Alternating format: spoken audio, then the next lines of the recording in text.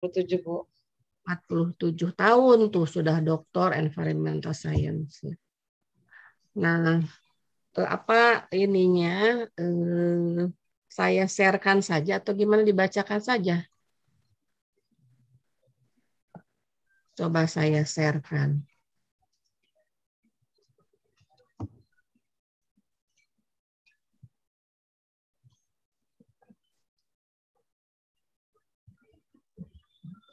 Supaya menjadi uh, inspirasi bagi kita semua ya bagi terutama bagi mahasiswa-mahasiswa.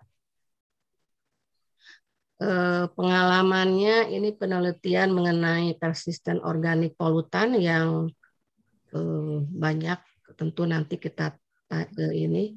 Ibu Haruki akan menjelaskan. Kemudian mengenai uh, environmental toxicology environmental technology ya, industrial waste management, environmental impact assessment ya, banyak lagi. Nah, eh,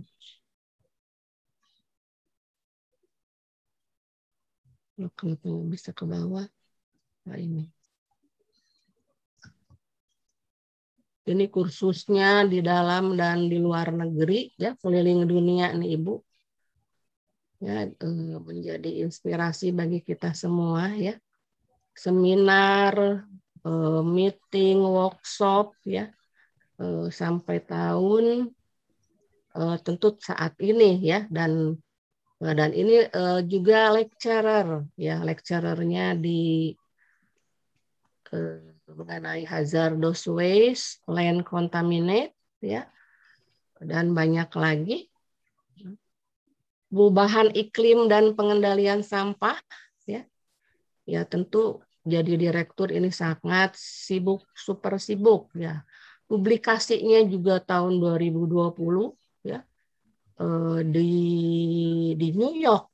Nah ini silakan para eh, mahasiswa S1, S2 yang fast track atau yang reguler eh, eh, inspirasi bagi kita semua ya Ibu Haruki ini. Ibu Haruki sebelum dimulai eh, saya perkenalkan dulu Pak Eh, Dr. Suryana, ini Ketua Prodi Biologi. Ya. Kenang Pak Suryana. ya ketemu oh, lagi ya Bu ya. Lagi. Gampang Pak. Gampang Ibu. Tadi sebelum Ibu saat Ibu gabung saya ngobrol heula sareng Bu Prof Niat. Oh mohon. Rekawis. Oh. Ternyata oh, ternyata seumur seumur beda setahun oh, dengan Pak Suryana. Alhamdulillah ya. Mohon Ibu. Ibu atur nuhun Ibu. Sami-sami.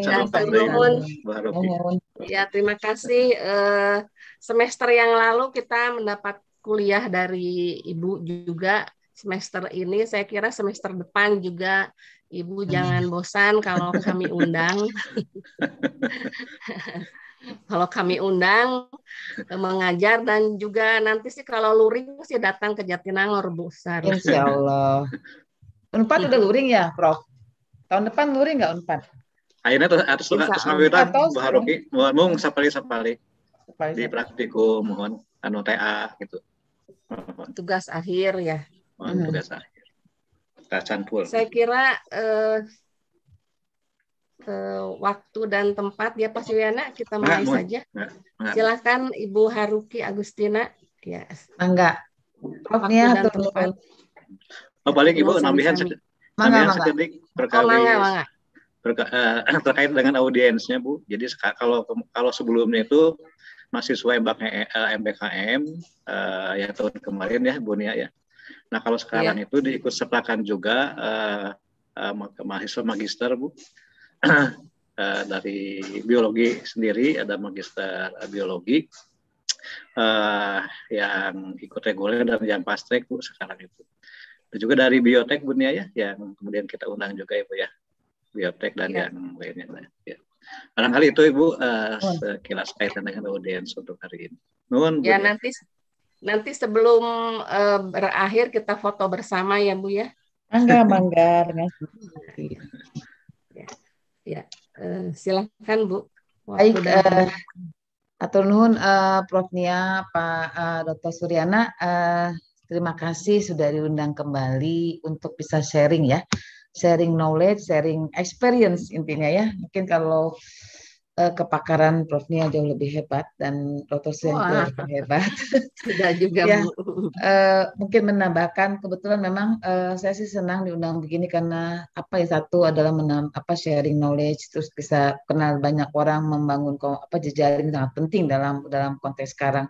Menambahkan saja memang selain saya direktur saya juga apa ngajar ngajar di pasca di SIL Sekolah Ilmu Lingkungan UI di SIL saya ngajar pasca S2 sama S3 uh, terus di apa di IPB pasti saya ngajar. Saya kalau di IPB saya ngajar sejak saya pulang sekolah S2 saya ngajar sampai sekarang di teknik lingkungan. Jadi ya hmm. ngajar jadi hobi karena sayang ilmu ya. Uh, Pak Suryana Bunia jadi ilmu biar ber, apa mengalir makanya saya hobi mengajar. Makanya kenapa saya ambil S3 bukan untuk apa tapi untuk keperluan apa namanya skill. Skill untuk dari pengetahuan dan mengajar. Jadi itu mungkin tambahan background apa uh, pengetahuan. Baik Bapak Ibu sekalian, saya izin untuk bisa apa share screen sesuai dengan apa uh, permintaan Prof Nia untuk menyampaikan tentang bioremediasi. Ya, uh, sudah terlihat ya, Prof uh, Pak Suryana?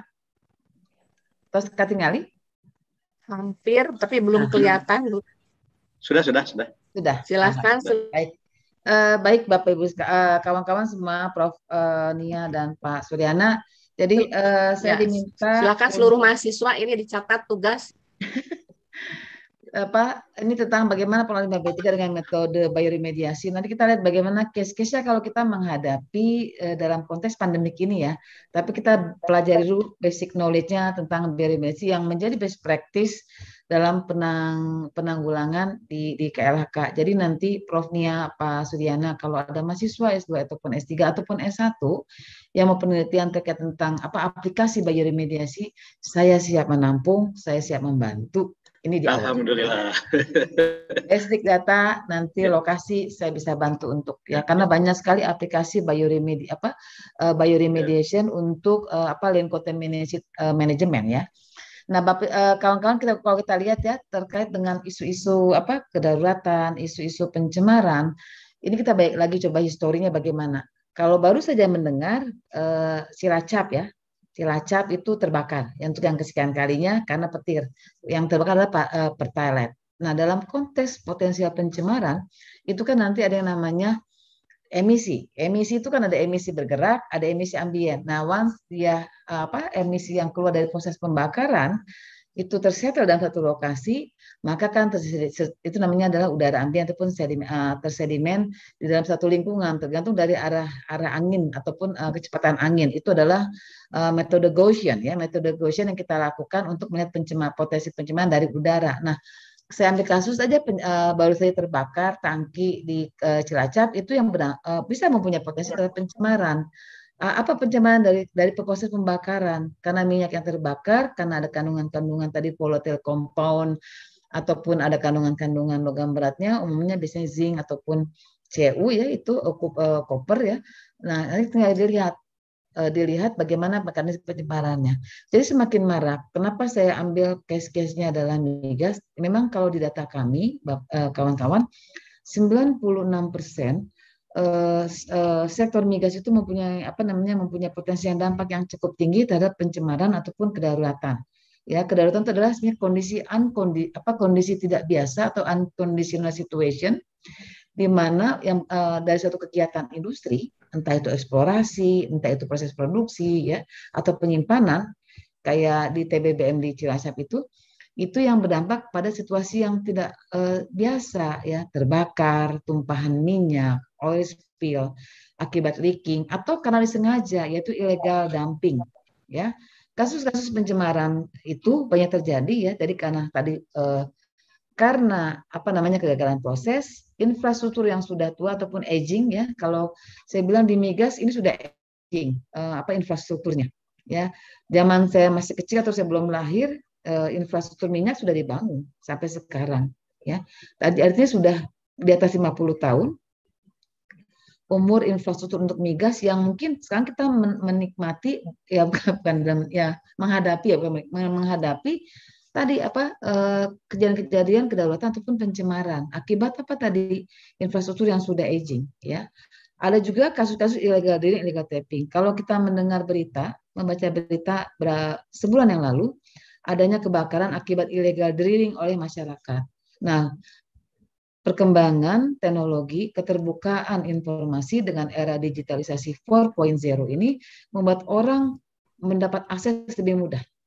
Nah, banyak masyarakat mendapatkan akses informasi bagaimana melakukan drilling, bagaimana melakukan pengolahan limbah B3 dengan pengetahuan yang cukup sederhana, dia mendapatkan apa yang dia mau tanpa mengelola limbah B3-nya. Itu adalah illegal drilling, illegal dumping, illegal tapping, ya. Kejadian-kejadian yang berdampak terhadap apa? Pencemaran atau land contaminated, ya.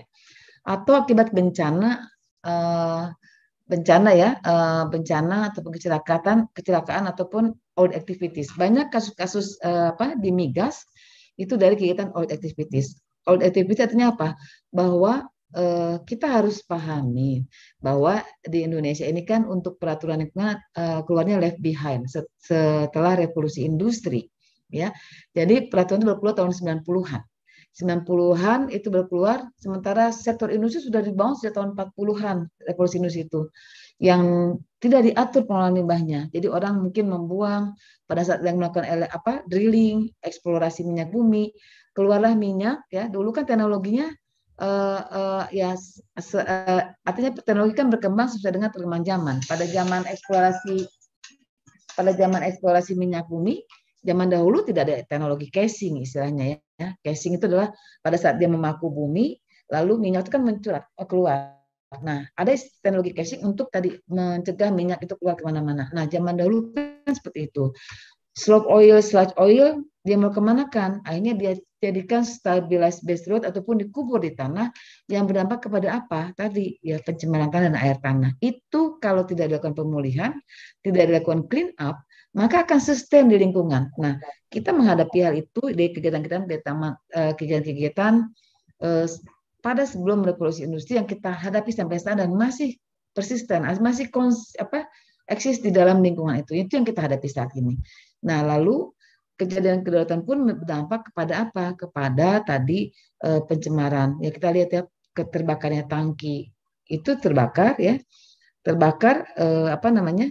Apa sih ada potensi ya? Potensi dari emisi yang terba eh, yang yang terbawa oleh angin ya. Hilang, hilang, hilang. Kalau hilang, hilang. Cara tentang hilang, tumpahan hilang. minyak ya. Bicara tumpahan minyak di laut, misalkan kita on apa offshore ya, offshore. Kalau offshore itu Bu, kebo, kebo. Kalau bicara offshore, maka bukan hanya satu lokasi yang terdampak. Kita bicara ekosistem. Ini kan banyak teman-teman dari biologi ya. Ekosistem itu kan macam-macam. Kalau bicara laut, ada ekosistem laut, terumbu karang, mangrove, ada lamun, ya. Itu terus pesisir dan pantai. Itu adalah potensi-potensi terdampak kalau di laut. Nanti tinggal dilihat tuh apa bagaimana arah apa arus laut, ya uh, itu yang yang, yang menyebabkan pencemaran itu tersebar ke mana-mana ya. Kasus-kasus ini kenapa migas menjadi tren ya saat ini? Kalau saya bilang tren karena kejadiannya banyak sekali ya tadi karena tadi masalah aging masalah cuaca masalah teknologi ini berdampak kepada tadi mau tidak mau pencemaran lingkungan.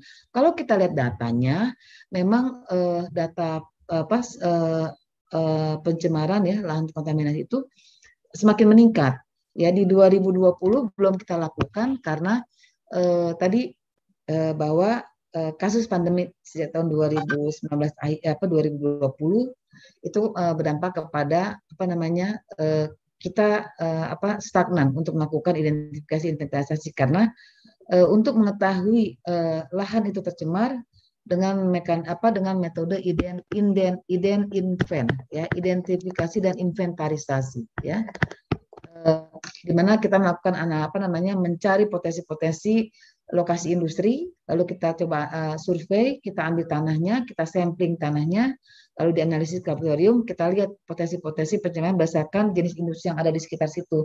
Nah, memang ternyata uh, potensinya sangat tinggi. Uh, pencemaran lahan kontaminasi uh, pencemaran lahan itu akibat dari apa satu ya tadi karena kesengajaan, karena kos untuk uh, pengolahan itu mahal. Kalau misalkan jauh-jauh dari uh, apa namanya dari uh, lokasinya jauh dari Jakarta ataupun Jawa dan sebagainya macamnya, berpotensi orang membuang limbah ya. Nah ini jadi kalau kita lihat trennya memang meningkat, trennya meningkat dan ini di 2020 itu memang stagnan. Tapi uh, uh, kami melakukan kolaborasi dan koordinasi dengan teman-teman di daerah dan sektor industri untuk melakukan ident, apa namanya identifikasi secara apa uh, secara mandiri ya sehingga mereka melakukan datanya ke kami. Nah kalau kita lihat lagi data dari sektor pencemaran itu memang mayoritas dari PEM dari migas sektor pertambangan dan migas. Ya, kita lihat ini adalah migas sangat tinggi. Ya, eh, kenapa tinggi? Ya, tadi saya katakan memang volume yang luas, volume yang besar. Ya, terus eh, luasan yang terdampak sangat besar itu yang berdampak kepada tadi eh, sektor PEM. Ya, jadi sekitar 96 persen pencemaran itu diakibatkan dari sektor migas. Ya, sektor migas. Kalau kita lihat eh, ini apa namanya existing data yang ada di KLHK mayoritas pencemaran itu terjadi di sekitar Sumatera dan Jawa. Memang uh, tidak bisa dipungkiri bahwa sektor industri banyaknya di Sumatera dan apa namanya uh, uh, Jawa ya. Nanti kita lihat potensi apa selain dari migas ada manufaktur ya kayak industri palm oil ya, ada spent bleaching earth ya, ada industri dari uh, pulp and paper.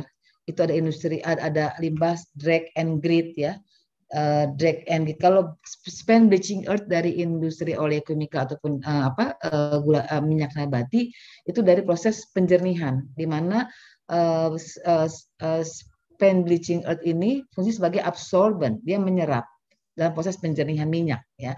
Nah, kenapa dia menjadi limbah B3? Karena kandungan minyaknya di atas 3% ya. Atau ada kandungan logam-logam beratnya karena pada proses penjernihan ada penggunaan katalis ya atau dari industri uh, pulp and paper ya. Itu ada drag drag dan grit ya. Drag drag dan grit ini adalah sebenarnya kapur. Kapur yang dipakai untuk proses sama penjernihan bleaching. Karena bahan baku kertas adalah kayu ya yang banyak mengandung tanin berwarna coklat. Bagaimana how to digest how to make it bright uh, dengan proses penambahan tadi peroxide klorin dioxide dan uh, kapur ya, drag kapur. Nah, limbahnya jadi drag and grit. Nah, kapur ini di, di, pada pada saat proses black liquor. Black liquor itu adalah jadi apa proses uh, yang mana apa nama air itu berwarnanya gelap. Nah, diproses di, di, diabsorb dengan kapur tadi. Nah, drag and grit ini uh, kandungan pH-nya di atas 12. Nah, kategori limbah sebagai limbah B3 kalau dia pH-nya di atas 12 kan? Di atas 12 untuk pH yang apa uh, apa namanya? Uh, kan ini pasti ini iritasi dan sebagainya macamnya. Nah, lalu ada lagi dari industri peleburan ya, eh, apa namanya slag ya, steel slag ya, furnace dan sebagainya macamnya, volumenya besar. Nah, itu tersebar di sekitar apa namanya di sekitar uh, Jawa dan uh, kalau dari sektor manufaktur. Tetapi migas banyaknya kan di sekitar, Sumatera ya migas. Kalimantan ya ada di Papua ya di Papua. Kalau bicara tambang, nah hampir semua nih tambang hampir di semua Sumatera uh, apa uh, Kalimantan, Sulawesi dan Papua itu tambang banyak. Karena kita sekarang ini kan memang lagi boomingnya harvest untuk batu bara. Yang notabene dengan migas dan tambang adalah non non renewable resources. One day pasti akan habis. Kita ambil contoh Bangka Belitung deh ya. Bangka Belitung kan tadinya kan penghasil timah terbesar dan sekarang sudah habis ya. Tinggal sisa apa namanya peninggalan-peninggalannya yaitu uh, apa lubang-lubang ataupun kolam-kolam yang kita bilang kolong istilahnya ya kolam-kolam pasca tambang yang dia sebenarnya berbahaya. Dia asamnya tinggi. Warnanya cantik tapi berbahaya. Jadi kita nggak jangan pernah memasukkan tangan kita. Secara uh, physically outlooknya bagus, berwarna hijau toska, tetapi itu berbahaya.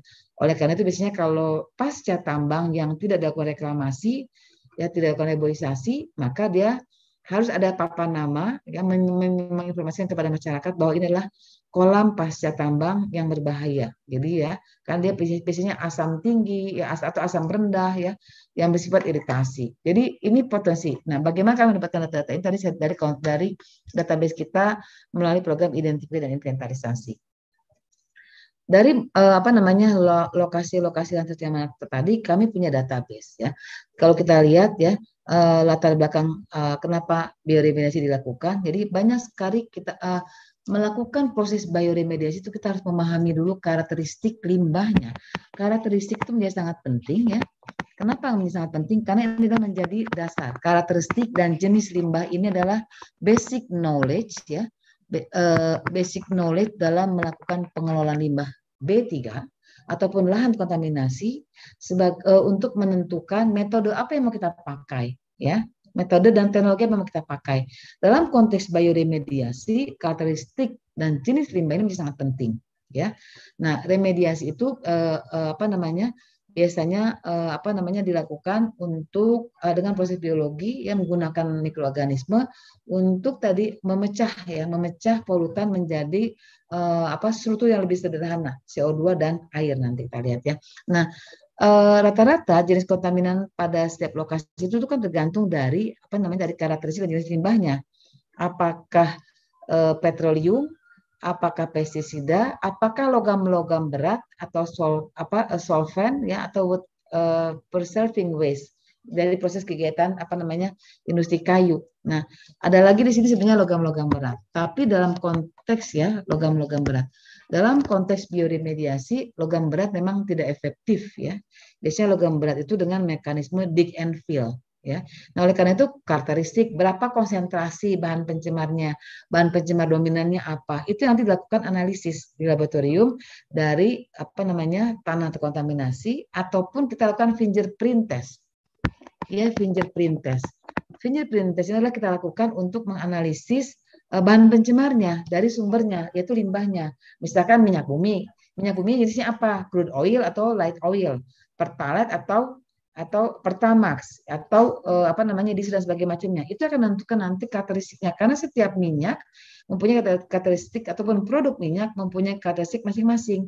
Nah kita tidak pernah bisa melakukan proses bioremediasi kalau kita nggak pernah mengetahui karakteristik dan jenis limbahnya.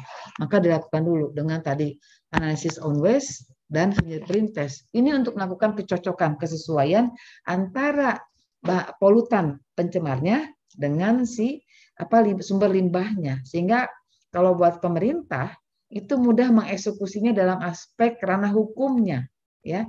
Ini ownershipnya punya siapa? Oh punya PTX oh punya PTB ya. Jadi dalam konteks penegakan hukumnya itu lebih mudah ya. Selain memudahkan untuk tadi proses penang penanggulangannya nah kasus-kasus pencemaran itu selain tadi uh, memang majority adalah uh, dari migas ya petroleum hidrokarbon ratai panjang, ratai pendek, lalu nanti mungkin ada kandungan logam-logam beratnya, ya tinggal dilihat saja. Nah beberapa, nah kalau pestisida ya, karena ini kejadian lama, ya sekarang kan banyak kita mengarah kepada biopesticide ya. Tetapi pestisida zaman dahulu kan kayak DDT, eh, apa eh, endrin, ya diadrin yang sekarang memang sudah di, tidak digunakan lagi, tetapi secara di alam dia masih ada karena sifatnya persisten ya dia long lifetime. Jadi beberapa kajian dulu tahun 2002 ya zaman saya nanganin apa Stockholm Convention kami lakukan kajian-kajian ternyata DDT yang dipakai pada tahun sebelum 40-an itu masih ada karena digunakan eh, DDT kan sangat efektif untuk mencegah tadi hama ya hama ataupun apa namanya e, malaria gitu ya. Tapi masih ada gitu ya. Kalau kita baca jurnal malah de, turunan DDT. DDT kan turunannya banyak tuh. Ada para para DDT, banyak lah turunannya DDT itu ya para para DDT. Beberapa jurnal me, me, me, e, menunjukkan bahwa DDT sudah mulai ditemukan di di kutub ya. Jadi kan ada proses migrasi dari tanah, tanah air tanah, air tanah ke sungai, sungai ke muara, muara ke laut. Laut ujungnya di mana sampai ke kutub ya. Jadi memang sangat mengerikan dalam konteks tadi kalau bahan-bahan kimia yang sifatnya persisten ya. Tetapi dalam konteks bioremediasi ya eh, eh, hampir agak susah ataupun logam-logam agak susah. Tapi yang namanya petroleum, eh, solvent itu bisa apa memungkinkan dengan mekanisme sangat efektif dengan mekanisme bioremediasi. Kalau kita lihat presentasi pengelolaan lokasi media yang terkontaminasi, maka bioremediasi ini uh, sangat optimal digunakan di lahan land contaminated. Meskipun untuk di air bisa-bisa saja penggunaan dengan tadi surfaktan ya mikroba yang apa surfaktan bisa bisa saja.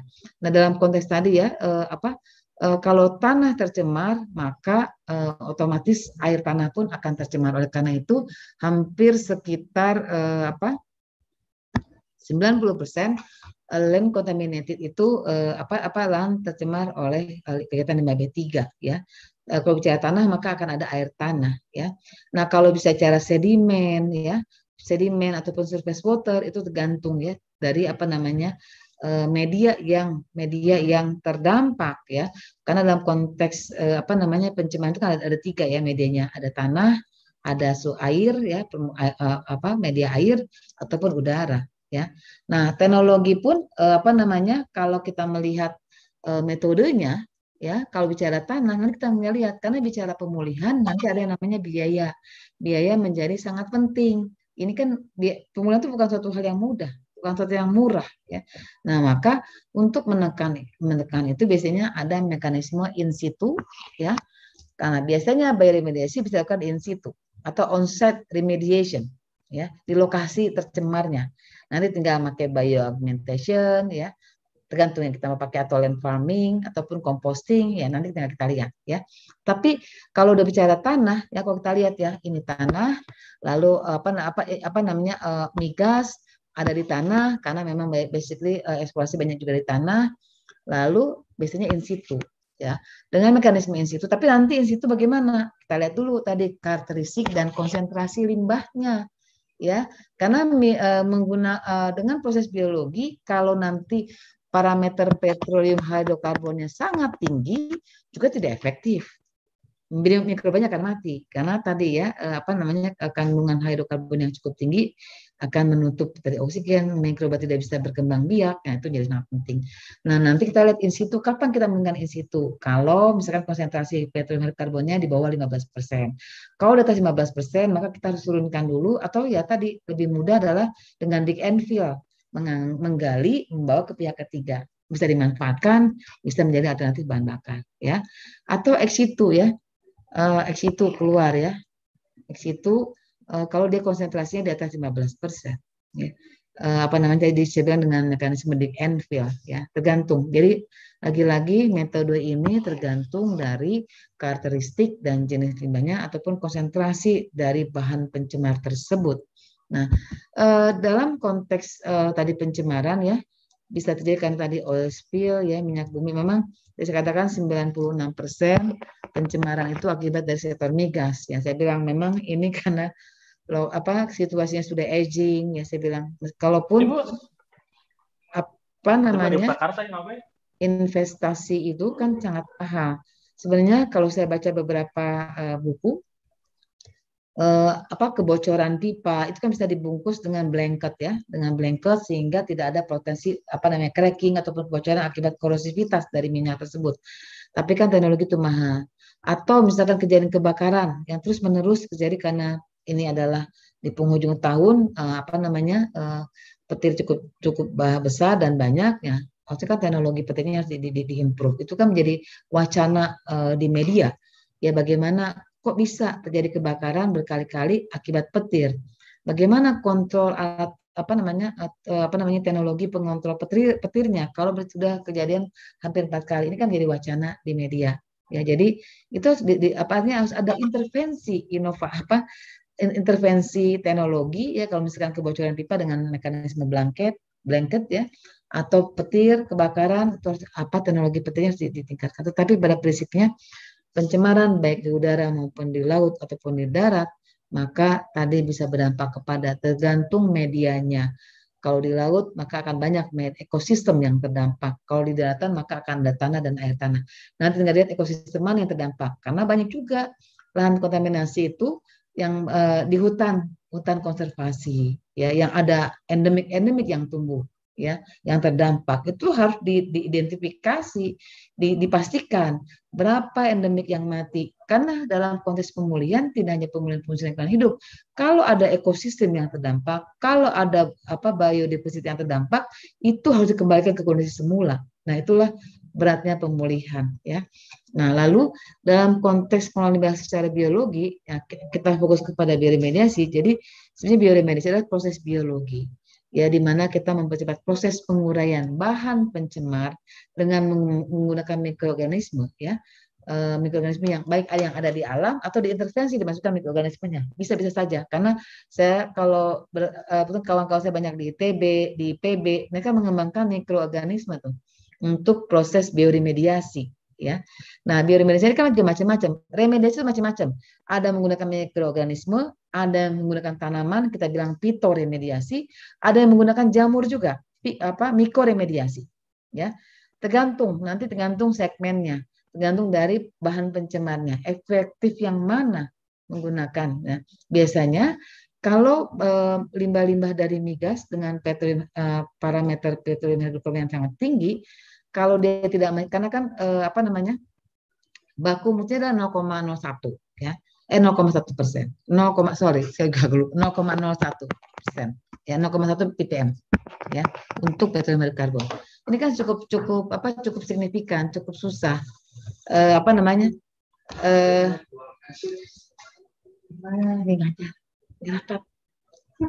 ya jadi eh, apa namanya eh, tergantung dari tadi apa eh, konsentrasinya tergantung dari jenisnya.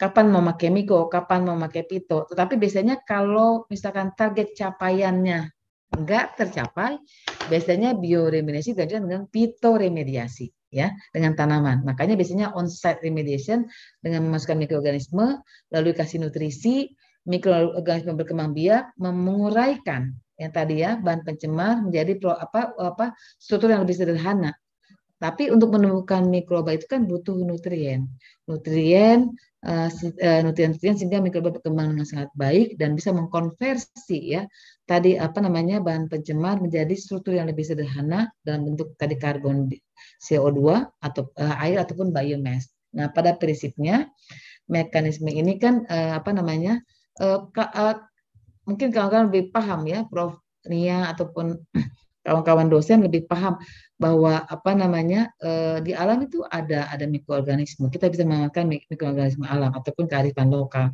Karena pada prinsipnya untuk memasukkan bakteri dari luar kan tidak dibolehkan. Ya, kita tidak kita tidak me, apa, menyalahkan, tapi memanfaatkan mikroorganisme yang ada di dalam.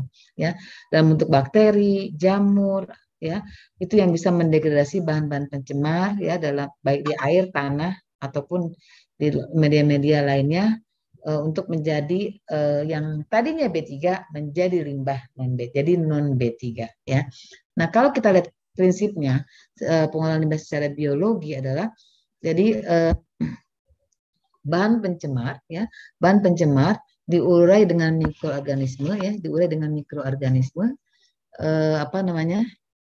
diurai dengan mikroorganisme sehingga menjadi produk tadi karbon dioksida nitrogen ataupun air. Jadi, nah bicara dalam kontur tanah, maka ada yang namanya tanah, ada namanya nanti air tanah, groundwater, tergantung di aquifer mana yang dikenanya. Di, dalam konteks tadi pencemaran, maka tadi akan dipulihkan tanah dan air tanahnya. Ya, prinsipnya ada tadi eh, apa namanya eh, mikroorganisme akan memakan ya bahan pencemar tersebut lalu diuraikan, tapi untuk mengembangkan mikroorganisme pasti dibutuhkan nutrien, nutri, nutrisi, ya tadi bisa menambahkan urea ya untuk perkembangbiakan.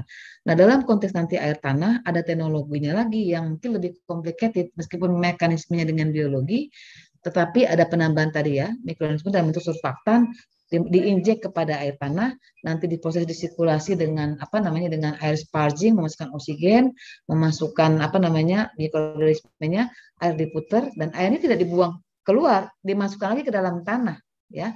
Karena hanya disirkulasi saja. Kenapa harus dimasukkan kembali ke dalam tanah?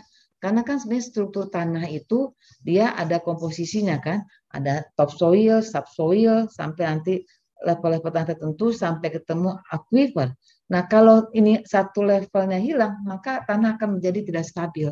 Oleh karena itu, biasanya kalau air tanah akan dikembalikan lagi ke tanah, tidak dibuang. Untuk menjaga stabilitas tanah sehingga tidak menjadi poros dan tanah menjadi tetap stabil. Ya. Nah, dalam konteks uh, hubungan biodegradasi dengan bioteknologi lingkungan, kalau kita bicara ilmu ilmu ilmu lingkungan kan maju sekali ya maju sekali ya. Kalau kita kan uh, teknologi konservasi ya, dulu mekanisme adalah from cradle to the grave, di mana selama apa namanya limbah itu uh, apa namanya dikelola ya bisa dengan eh, apa dengan apa namanya tadi di, di, dikelola dengan pengolahan, misalkan dengan insinerator, dengan landfill ya, di mana limbah itu harus dikelola mulai dari dihasilkan sampai dengan tadi ditimbun. Kontrolnya ada, tetapi kan eh, ada limbah-limbah yang bisa dikelola dengan apa namanya yang mempunyai karakteristik biodegradable ya terutama limbah-limbah yang memang dari alam itu yang menjadi apa namanya diarahkan untuk bisa dimanfaatkan dengan memanfaatkan tadi eh, mikroorganisme ya. Eh, apa dengan bioremediasi atau biodegradable. Tetapi di samping itu juga ada yang namanya produk-produk yang tadi apa namanya eh, apa eh, yang di, diarahkan kepada produk-produk yang ramah lingkungan, lingkungan ya kayak biofuels, biomass ya, utilization. Itu yang kita arahkan dalam konteks adalah apa inovasi ataupun kekinian. Nah, namun dalam konteks penerapan ini semuanya ya penerapan ini semuanya menjadi sangat penting dan melihat respon lingkungan secara langsung. Yang kita bilang daya dukung ataupun daya tampung ya. Bagaimana respon lingkungan bisa apa namanya mendigest ya me, apa mendigest mengasimilate apa namanya bahan-bahan yang masuk ke lingkungan. Nah itu dari dulu tampung ya. Kalau masuk ke laut ya apakah lautnya tercemar bagaimana ekosistemnya? Kalau masuk ke mana? Ke sungai. Bagaimana sungainya? Kemampuan sungai untuk melakukan apa namanya natural remediation. Apakah sanggup nah ini harus menjelaskan kemampuan-kemampuan lingkungannya untuk berinteraksi ya terhadap polutan-polutan yang masuk. Oleh karena itu mekanisme apa degradasi ataupun biodegradasi bisa secara apa uh, natural ya natural degradation atau ada intervensi dengan memasukkan mikroba atau tadi ya dengan teknologi tertentu. Kalau saya belajar dari Jepang ya uh, bicara pencemaran sungai ya sungai di Jepang mungkin berapa puluh tahun lalu sama kayak yang di sungai di Citarum ya. Tetapi dengan membangun pola kesadaran ya aware apa uh, community awareness-nya dibangun selama 30 tahun orang sadar dengan apa namanya dengan diri sendiri dengan limbah yang dihasilkannya lalu pemerintah mengintervensi ya mengintervensi di mana sungai-sungai itu dilakukan proses apa namanya uh, pembersihan naturalisasi lalu diproses uh, apa dengan proses biologi dimasukkan aerasi dimasukkan apa tadi namanya mikroorganisme sehingga sungai-sungai di Jepang sekarang sudah bagus dan bersih dan dia ada kontrol secara aerasinya dilakukan juga. Tetapi tanggung jawab masyarakat dilibatkan. Nah ini mungkin yang PR bersama ya bahwa di Indonesia dalam konteks bagaimana menjaga lingkungan itu tidak hanya tugas pemerintah, tugas masyarakat, tugas komunitas, tugas apa namanya industri itu harus bersama-sama menjaga bagaimana lingkungan itu bisa menjadi menjadi bersih. Karena sebenarnya kan proses uh, degradasi, biodegradasi di alam bisa bisa terjadi selama ada unsur-unsurnya. Kayak apa kalau di indika bioindikator kan ada apa lumut diken ya lumut diken ganggang alge. Itu sebenarnya kan adalah unsur-unsur yang ada di alam yang akan melakukan proses biodegradable ya dengan tadi apa namanya secara alamiah nah ini yang sebenarnya sudah semakin menipis kalau kita lihat di Indonesia ya. Di sungai-sungai di alam ya. Mungkin alam-alam yang masih bersih yang mungkin bisa kita lihat dari puncak puncak gunung itu masih mungkin masih memungkinkan ya. Nah, kalau kita lihat bagaimana presentasi jenis kontaminan yang dapat dikelola dengan bioremediasi ya, tadi ya eh, kita adalah tadi eh, petroleum ini menjadi sangat potensial ya untuk dilakukan ataupun solvent bisa dilakukan ya. Nah, tetapi kalau kayak pestisida ataupun yang logam-logam berat ini memang agak berat ya. Jadi dibutuhkan apa? Dibutuhkan apa namanya? Mungkin mikroorganisme yang sangat ya, ya yang dikembangkan mikroorganisme yang bisa mengurai. Ya, karena kalau dari data kami DDT itu masih ada di alam ya. Kalau dari uh, datanya pusar pedal malah DDT itu kan sudah apa namanya secara migrasinya sudah sampai ke laut. Eh, ikan-ikan sudah ada kandungan DDT-nya tuh ya, sibas ya. Sibas itu kakap ya, kakap merah, kakap putih, itu dari hasil data kita ada kandungan-kandungan DDT-nya. Jadi memang agak uh, perlu intervensi ya mikroorganisme yang cukup strong untuk bisa menguraikan pestisida. Tapi kalau petroleum ya solvent itu sangat mudah untuk dengan mekanisme tadi uh, apa namanya uh, bioremediasi ya. Nah, eh, dalam konteks jenis polutan, maka kita bisa mengklasifikasi ya, ada yang biodegradable, bisa terurai, ada yang degradasi secara parsial karena dia mempunyai karakteristik persisten atau tidak bisa terdegradasi, contohnya kayak DDT, merkuri, uranium.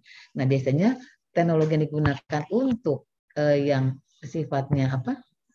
Yang sifatnya persisten ya KDDT Merkuri ini ini pakai teknologi encapsulation ya encapsulation itu adalah jadi encapsulation dan masuk ke landfill. Jadi harus di digging out, diambil dari lokasi tanah terkontaminasi, lalu disolidifikasi, ya disolidifikasi itu diikat dengan semen sehingga dia tidak ke mana-mana.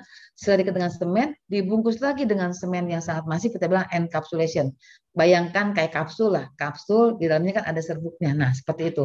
Tapi ini tidak bentuk serbuk, tidak bentuk tanah. Tanahnya disolidifikasi dulu dengan semen sampai dia solid, ya masif lalu dibungkus lagi dengan apa dibungkus lagi dengan apa semen lagi yang cukup masif kita dibungkus dengan kayak semacam kayak kapsul encapsulation baru dimasukkan ke landfill kategori. Landfillnya landfill kategori satu ya.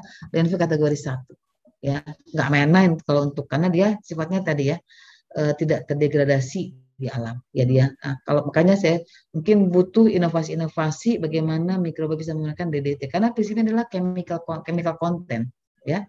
Nah, kalau yang biodegradable ya kayak gas, diesel ataupun produk-produk migas itu uh, sangat mudah ya.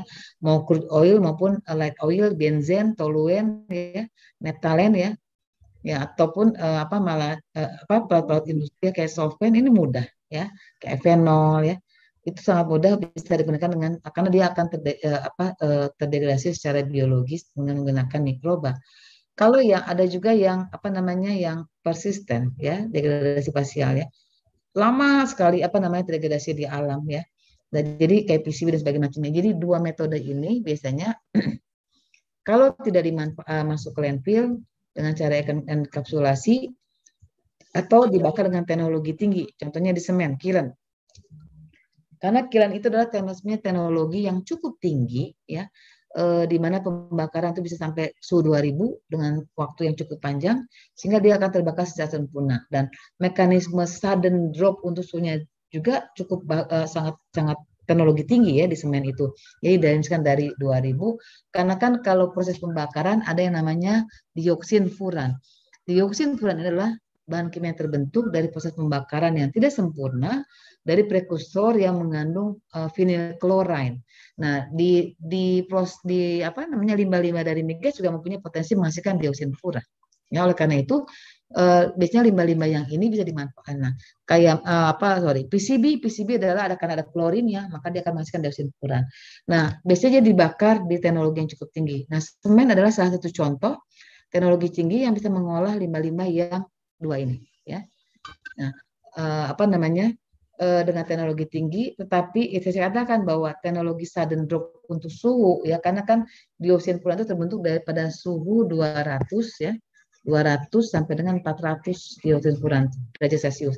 Nah, jadi dari suhu misalkan 2000 turunkan 1900 ya 800 lalu turun ke sampai 150 ataupun 100. Nah, itu ada teknologi apa namanya cooling cooling water atau cooling apa namanya secara eh, apa namanya menurunkan suhu secara cepat sehingga tidak terbentuknya dioksin dan furan.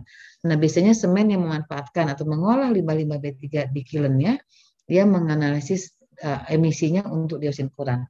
Karena tadi saya katakan bicara uh, pencemaran dari akibat emisi yang keluar itu bisa saja ke tanah atau ke lahan ya uh, dari proses apa namanya uh, ambien ya ambien di mana udara tersebar dalam satu suatu lokasi. Nah kalau dia terus menerus akan akumulasi, nah itulah dia pencemaran dari emisi udara.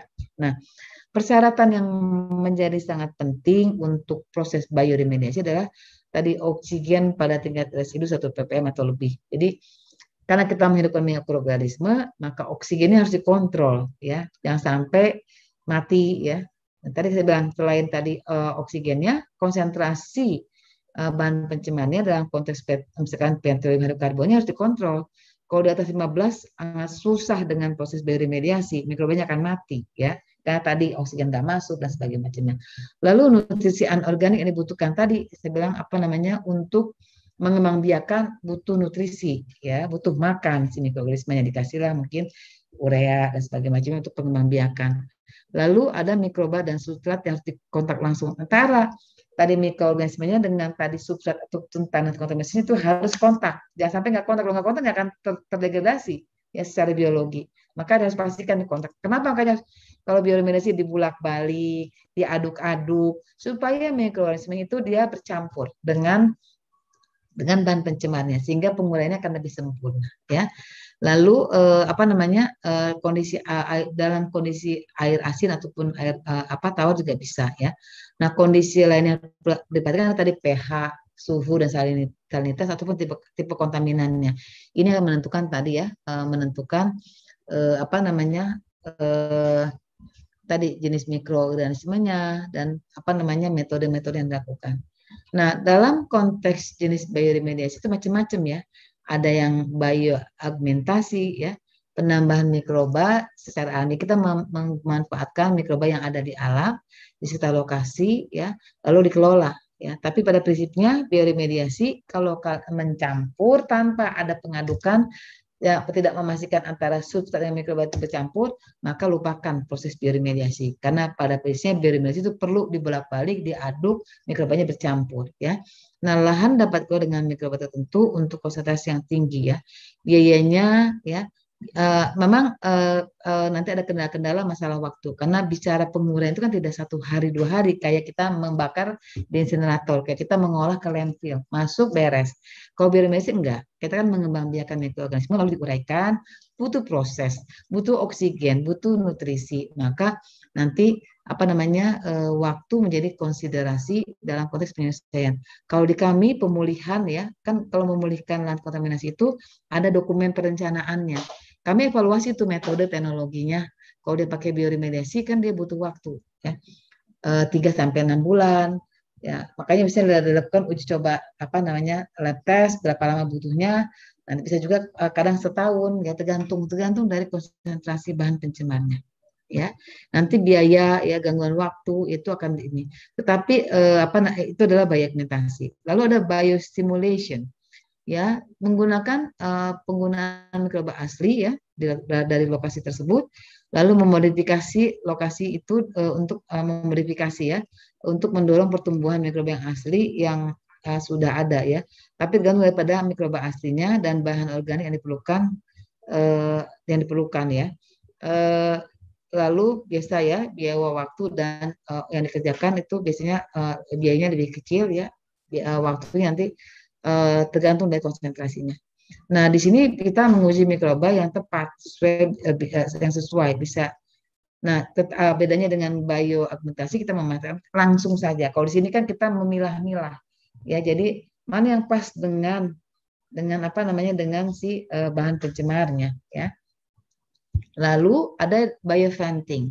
Bioventing adalah mengolah tanah dengan tadi memasuk apa uh, apa oksigen untuk meningkatkan pertumbuhan mikroorganisme ya. E, biasanya dipakai sistem-sistem venting, piping ya untuk tadi menstimulan apa namanya oksigen ke dalam lokasi e, tercemar. Lalu ada composting. Nah, composting ini banyak sekali digunakan ya. Nanti e, dicampur dengan apa namanya agen penggembur ya, bisa pakai EM ya, bisa pakai apa e, bio apa e, e, biofilter ya atau lalu e, ada namanya mikroorganisme ya lalu dibulak-balik ya dengan mekanisme composting sehingga udara uh, bisa terkena udara dan mikroorganisme ber, ber, ber, apa, ber, berkembang biak. Nah sebenarnya dengan mekanisme composting juga uh, ada diuntungkan karena dia terbuka dibulak-balik. Kemudian uh, mungkin bisa mendigest juga masalah bau dan sebagainya macamnya. Ada juga land farming. Land farming ini uh, adalah mengadaptasi dari teknik pertanian sebenarnya secara tradisional dengan aerasi, pembajakan, ya dibajak, ya Sebenarnya kalau dalam kacamata saya hampir sama ya. Masalah teknologi yang digunakan saja. Kalau composting dia memas apa dengan ada apa agen penggemburnya kalau dibalik balik kalau farming dia menggunakan tadi ada oksigen yang masuk juga dengan mekanisme pembajakan jadi teknologi yang membedakan sebenarnya. Pada prinsipnya adalah penggunaan mikroorganisme ada oksigen ya ada nutrisi that's it gitu ya. Tapi tinggal bagaimana mengatur pengelolaannya dengan land farming kah, dengan composting kah. Tapi nanti lihat juga karakteristik dari bahan pencemarnya. Lebih efisien yang mana? Composting atau land farming atau venting. Lagi-lagi tergantung. Nah, venting itu biasanya kan untuk yang solvent, yang sifatnya dia volatil, maka dia akan lebih mudah. Ya. Lalu eh, kalau kita bandingkan ya perbandingan metode bioremediasi dengan metode lainnya. Nah, dalam kan kita bilang bicara metode bioremediasi sudah kita sampaikan. Nah, ada metode lainnya, ya ada namanya soil gas extraction atau excavation. atau ada juga nih belum ter, apa so, uh, low temperature thermal shift ataupun kita bilang uh, apa namanya evaporation ya di mana dengan proses thermal dipanaskan ya uh, di tanah digali lalu SPB itu kan uh, mekanisme adalah uh, store apa sin ya kita bilang sin ada minyak yang terlihat dari dari apa namanya di di, di air itu. Ya ini protes lah masyarakat dan nah kalau bicara air tanah yang ter, terdampak itu ada namanya ada air sparging ya. Uh, air paging ya uh, apa namanya di mana uh, memasukkan uh, apa namanya surfaktan mikroorganisme ke dalam tanah nanti tanahnya di airnya disirkulasi muter begitu nanti atau atau dikeluarkan dahulu dilakukan uh, proses dengan apa namanya penambahan mikroorganisme setelah memenuhi ketentuan dibalikkan lagi ke dalam air tanah gitu loh. Nah, jadi tidak dibuang, dibalik lagi ke dalam ke dalam ke dalam tanah. Teknologi lebih lebih rigid, lebih susah dan lebih mahal karena parameternya tidak hanya benzen, tapi ada BTEX ya. Ada yang turunan-turunan yang lebih rigid yang kepada air tanah dan mungkin kita parameternya bisa merequest kepada WHO ataupun kepada Kepermenkes karena ada air yang dikonsumsi oleh manusia sehingga berapa tolerable untuk diintake oleh manusianya di, diatur itu. Itu kalau bicara untuk pemulihan di air tanah ya. Nah, ada keterbatasan dalam bioremediasi uh, yang paling utama adalah waktu. Ya. Waktu itu menjadi konsideran. Kadang-kadang mereka mengajukan perencanaan ke kami, oh gue cukup enam bulan. Sesuatu nggak tercapai karena mikroorganismenya nggak cocok, nggak pas. Jadi nggak turun-turun tuh uh, eh, TPH-nya, total pertumbuhan karbonnya nggak turun-turun. Hanya mereka panjang. Jadi uh, mikroorganisme itu menjadi sangat penting untuk uh, menguraikan bahan pencemar. Jadi akan menentukan waktu ya, waktu itu ya.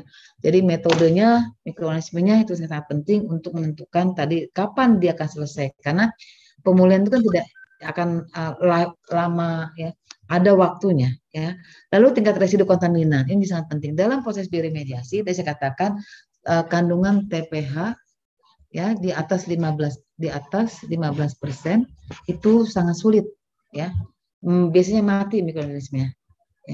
Nah, dalam konteks tadi penggunaan mikroorganisme ada juga inkonsisten. Itu saya katakan udah dicoba ternyata nggak efektif gitu ya. Mungkin apa kurang terus dievaluasi lagi bukan inkonsistensi ini banyak kita temukan. Atau uh, nah bioremediasi juga saya katakan tadi di awal tidak efisien ataupun efektif bu, tidak efektif untuk tadi uh, uh, apa namanya logam-logam berat ataupun DDT ya ataupun uh, polyautomatic hydrocarbon. Nah, uh, yang misalnya penting adalah biasanya bioremediasi ditindaklanjut dengan tadi dan juga dengan remediasi karena kadang tidak tercapai, tapi uh, di atas baku mutu, ya, uh, uh, tapi tidak terlalu tinggi. Nah, biasanya ditindaklanjut dengan proses fitoremediasi, ya.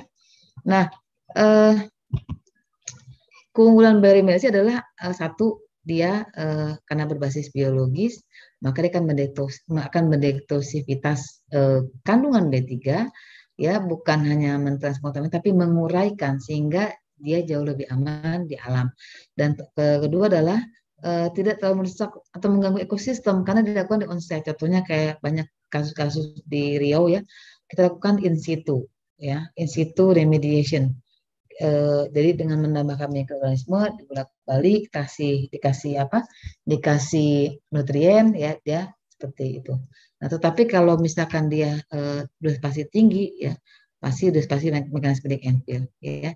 Nah, eh, biayanya jauh lebih murah pastinya, apalagi kalau di in situ kita itu akan mengcutting proses-proses pengangkutan ya karena sebenarnya biaya pengolahan limbah B3 mahalnya di mana kalau di luar Jawa di luar jauh dari fasilitas pengolahan limbah B3 maka biasanya ada biaya transportasi itu yang menjadi bahaya ya itu yang menjadi apa biaya meningkat ya nah, oleh karena itu kalau in situ remediation akan jauh lebih mudah cuma hanya membolak-balik lalu menambahkan mikroorganisme beres seperti itu tinggal dikontrol berapa waktunya ya Nah, lalu dapat dilakukan di lokasi yang tercemar yang on-site ataupun in situ ya. Untuk tadi apa mengurangi uh, konsentrasi pencemaran. Uh, menghilangkan biaya, biaya transportasi dan sebagainya. Nah, itu adalah misalnya konsep bioremediasi yang bagaimana kita mengimplementasikannya selama ini dalam mengontrolnya. Nah, dalam konteks pelaksanaannya, eh, kami pasti kontrol. Ya, jadi, oh dia misalkan enam bulan, maka di tengah-tengah proses bioremediasi kita akan melihat tuh, melihat oh apakah ada proses perubahan ya lalu nanti eh, di dianalisis di lab kita lihat nah, itu ada pengontrolan. Nah, dalam konteks tadi bagaimana mengontrol proses bioremediasi di masa pandemik ini, ya di masa pandemik ini, eh, saya memang membatasi ya, membatasi apa namanya staff ataupun eh, apa karyawan kami untuk bisa turun ke lapangan pada terutama pada saat saat eh, apa namanya pandemik yang apa eh, kasus-kasus yang meningkat. Nah kami eh, biasanya dilengkapi dengan alat-alat yang eh, cukup satisfy untuk bisa memastikan mem, mem, mem, apa, memastikan apa namanya uh, kontaminan berapa logam berat, terus bagaimana kita melakukan pengawasan pengontrolan ya dengan alat-alat yang cukup memadai. Biasanya kalau kita nggak tidak mungkin untuk ya dalam konteks pandemi ini kita nggak mungkin ke lapangan, maka ya tadi kan sementara pekerjaan itu harus beres, kita harus mengontrol, maka tadi kita lakukan live monitoring ya, live monitoring dengan menggunakan drone. Ya, Eh, kita punya beberapa pesawat drone untuk memastikan tadi ya mengawasi ya. Eh, apa mengawasi dengan sistem dengan drone ya. Jadi mengidentifikasi uh, apa namanya tadi melihat apa namanya mereka melakukan apa namanya mengambil sampel melakukan pengambilan mediasi pasti kita lihat ya. Satu. Yang kedua adalah kita punya alat-alat juga apa namanya jadi dikatakan pengontrolan pengawasan itu dengan tadi apa namanya virtual ya. Virtual yang dengan menggunakan kamera ataupun dengan drone sehingga kita bisa lihat secara langsung ya. Itu sudah kita lakukan dalam konteks bagaimana melakukan pengawasan pemantauan. Lalu eh, ada alat-alat yang kita gunakan ya dalam konteks eh, apa namanya mengontrol apa namanya lokasi dan tercemar kita punya detektor gas yang digunakan untuk mengukur gas ya kandungan gas eh, apa kandungan gas seperti apa O2, CH4 ya itu kita punya alatnya ya. Nah, kayak sekarang nih uh, staff saya turun ke mana ke Cilacap itu untuk tadi melihat apa namanya membawa gas detektor untuk memastikan tidak ada pencemaran-pencemaran dari uh, apa konsentrasi-konsentrasi bahan pencemar tersebut ya. Lalu kita juga punya digital anemometer ya untuk mengukur kecepatan angin tuh nah itu dibawa semuanya memastikan untuk kecepatan angin ke segala macamnya lalu kita punya rem scan nah rem scan ini ini alat-alat ini eh, apa namanya bukan alat-alat yang murah makanya saya kalau di kantor eh, kencang banget sama anak-anak untuk maintenance-nya bicara rem scan itu harganya hampir 4 mil, eh, 3 sampai 5 miliar. Bentar punten ini mau mati adanya.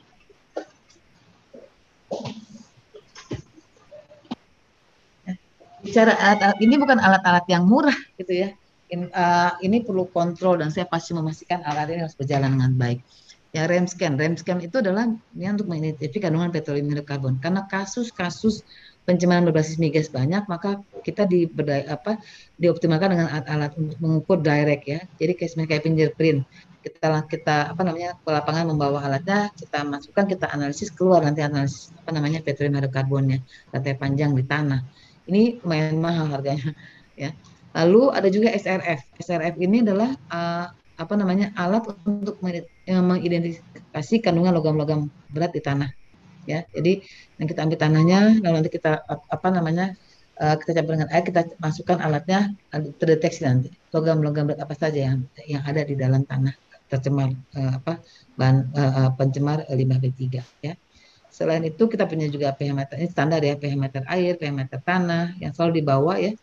Eh, apa namanya eh, termasuk GPS dan apa namanya alat komunikasi satelit. Karena kalau kita bicara eh, kasus yang misalnya di Rio di hutan kan susah komunikasi kalau kita pakai handphone maka gunakan alat komunikasi satelit itu menjadi sangat mudah.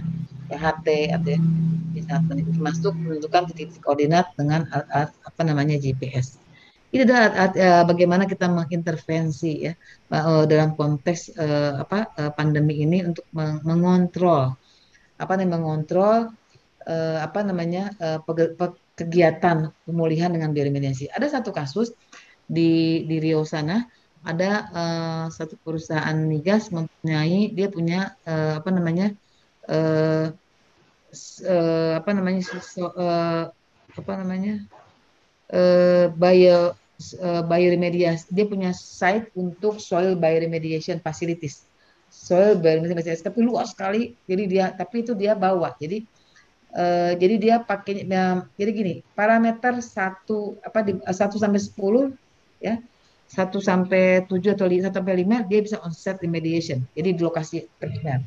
Tapi 5 sampai di bawah 15 kadang-kadang kan sulit ya. Atau uh, -kadang sulit. Nah, uh, beberapa perusahaan punya namanya uh, apa namanya tadi soil bioremediation facilities SBF ya yang luasannya. Nah, itu bagaimana mengontrolnya? Saya gunakan drone ya untuk memastikan benar nggak luasannya. Karena luas sekali gitu kan, luas sekali. Nah, itu biasanya beberapa lokasi eh, beberapa perusahaan memiliki apa namanya fasilitas untuk bioremediation secara masif, secara besar. Tapi eh, itu kelemahannya adalah kita memindahkan, ada transportasi ya yang menjadi masalah. Dan kalau sudah memindahkan limbah dari satu lokasi ke lokasi yang lain, maka akan ada apa? Satu adalah mungkin ada ceceran, ya, akan ada segala macamnya. Ini, ini sangat penting, ya. Nah, tetapi uh, dengan uh, apa namanya uh, inovasi kebijakan termasuk teknologi untuk uh, dilakukan in situ ya on-site remediation itu adalah akan mengcutting biaya dalam konteks pemulihan. Jadi biaya pemulihan dengan remediasi bioremediasi ini kos uh, uh, jauh lebih murah dibandingkan kalau kita pakai landfill ataupun insinerasi, tetapi juga tidak murah-murah amat gitu loh. Jadi memang mengontrolnya maka karena itu tadi me, me, apa mengintervensi proses-proses yang bisa kita potong ya tadi dengan tadi onset dari medicine ini sangat penting dalam konteks konsiderasi biaya. Demikian eh, kawan-kawan uh, yang bisa disampaikan kalau ada pertanyaan dengan senang hati saya uh, akan menjawab. Terima kasih. Wassalamualaikum warahmatullahi wabarakatuh. Waalaikumsalam warahmatullahi wabarakatuh. Ya, uh, terima kasih Ibu Haroki. Barusan Bu Nia uh, saya. Mohon maaf katanya ada gangguan jaringan. Ya. ya. Jadi uh, saya coba. oh, sudah ada. Sudah ada ya. Oh, mangga, mangga Bu Mia. Iya. Sudah selesai ini. Gangguan ya. Gangguan wifi atau gangguan komputer ini. uh, alhamdulillah sekarang udah uh, baik ininya sambungannya. Uh, baik uh, Ibu Haruki, uh, terima kasih uh, paparannya dari para mahasiswa. Silahkan uh, juga dari para peserta di sini terlihat ada Ibu Prof. Ratu Safitri, Prof. Uh, Ujang dari Fakultas Peternakan ya dan eh, eh, juga dari eh, selain dari para mahasiswa S1 dan S2. Silahkan para mahasiswa ada yang ingin ditanyakan? Dari mahasiswa MBKM silakan. Sam, Danti, silakan.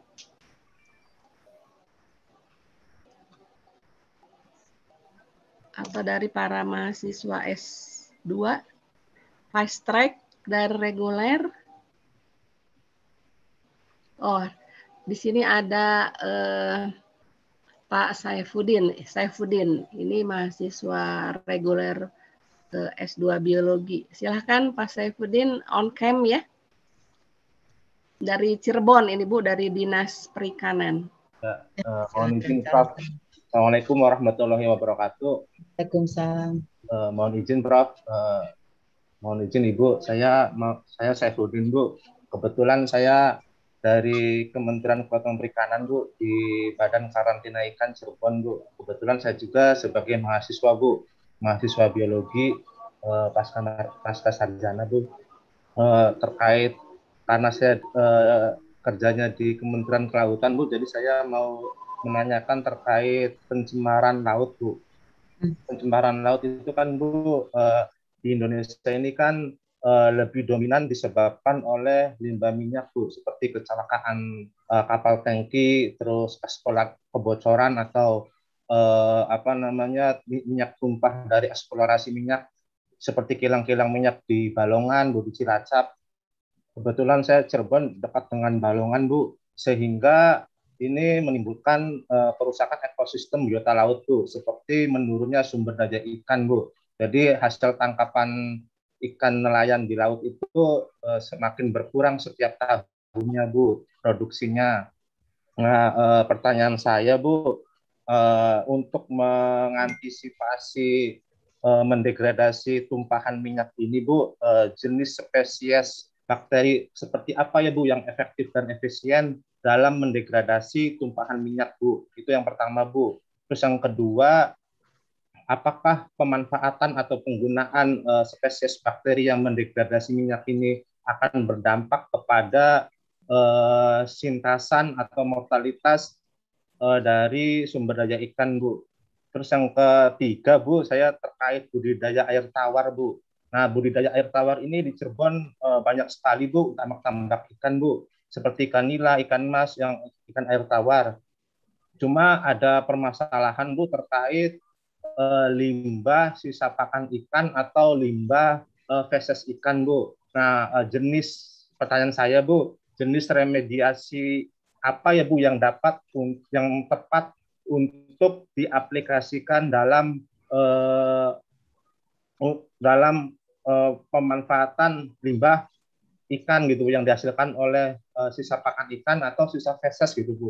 Karena di biologi sendiri kan ada beberapa prinsip-prinsip tuh Bu, ada yang recycle, ada yang reuse. Kalau bisa sih uh, jenis bioremediasinya itu yang menghasilkan uh, zero waste gitu Bu. Itu aja Bu pertanyaan dari saya Bu. Mohon izin Ibu Bapak. Terima kasih Bu. Assalamualaikum warahmatullahi wabarakatuh. Ya, uh, waalaikum. Terima kasih. Waalaikumsalam warahmatullahi Pak Saifudin. Langsung jawab ya, Prof. Uh, baik ya. Uh, satu adalah uh, apa namanya? Uh, memang kalau untuk penanggulangan kan kasus ini kan banyak sekali ya. Uh, mungkin Pak Saifuddin uh, nangani yang balongan juga ya. Jadi uh, uh, kasus tumpahan minyak di uh, laut ini semakin marak. Satu karena tadi gagalnya teknologi ya. Kalau yang di Kerawang itu yang ONWJ itu kan uh, gagalnya apa namanya teknologi aja cracking. Kedua ada juga masalah uh, dengan uh, apa namanya uh, kebocoran pak ya yang berdampak kepada keluar. Nah tadi uh, memang pemulihan tadi kan bisa di tergantung kalau di laut kan secepat mungkin diambil dengan cara tadi apa namanya masuk oil boom menggunakan surfaktan ataupun skimmer untuk mengambil minyak-minyak yang ada di laut. Tapi kan ada yang terbawa oleh arus ke tadi ke pantai, pesisir, ke mana ke apa ke mangrove ya. Mangrove itu kan berdampak. Nah, kalau baca pantai, pantai pesisir kan nanti ada namanya uh, tambak ikan yang yang terdampak, tambak udang, tambak garam. Itu nanti pastinya harus dipastikan dulu. Nah, kalau kasus yang balongan ya, kasus yang balongan kan dari emisi udara Pak ya. Ya Bapak bilang tadi ada apa namanya uh, ikan tumbuhan ikannya apa tumbuhan ikannya uh, nggak bagus dan sebagainya. Itu yang pastinya harus dipastikan dulu apakah memang ikan tersebut ter, terekspos ya terekspor atau terpajan dari emisi-emisi yang ada di udara tersebut, dari udara pembakaran tersebut. Itu harus dipastikan. Ya, maka tadi e, kalau saya kayak contohnya gini, e, kasus yang baru saja terjadi yang di di Lampung, ya tumpahan minyak, itu bilang katanya ada ada apa? Ada ikan peli apa? Burung burung mati, burung camar mati, terus lobster mati. Ya, di, analisis saja itunya. Apa namanya si apa si binatangnya, hewannya. Lakukan analisis secara biologi di, di laboratorium apa ya kematian apa. Lakukan fingerprint test ya. Fingerprint test ini sangat penting untuk mengetahui apakah memang benar pencemarannya itu ya. Nah kalau tadi bilang oh, uh, apa namanya uh, tambah ikannya uh, nggak betul nah itu harus pastikan dulu. Apakah memang karena ini ya tapi kan kalau yang di balongan itu kan sudah kita lakukan mana masih berproses ya lakukan analisis uh, udara ambien dan emisinya segala macam sudah dilakukan tapi yang bicara apakah ikan kena debu, kena apa abu partikulatnya ataupun harus pasti analisis ya.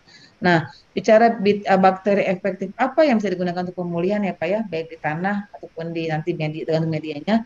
Lagi-lagi saya sampaikan bahwa bakteri itu uh, itu harus dipastikan ya, harus dipastikan uh, secara apa namanya tadi katakan uh, uh, dilihat uh, dari kearifan lokal, pakai bakteri yang ada di, di lokasi tersebut sehingga untuk bisa memudahkan ya memudahkan apa proses uh, apa namanya proses uh, penguraiannya.